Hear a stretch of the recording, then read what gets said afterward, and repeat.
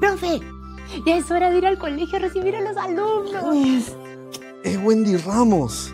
Vamos, los maestros son los grandes impulsores del cambio. Cuando un maestro es puntual y respetuoso con sus alumnos, ¡ay! La sociedad empieza a mejorar. Yo adoraba a la profesora Fanny porque me enseñó a perderle el miedo a las matemáticas. Yo sé que usted tiene el punche para ser un buen maestro. Wendy, tranquila, yo tengo todo listo. Y hoy es domingo. Disculpa. Todos volvemos con punche al nota más alta.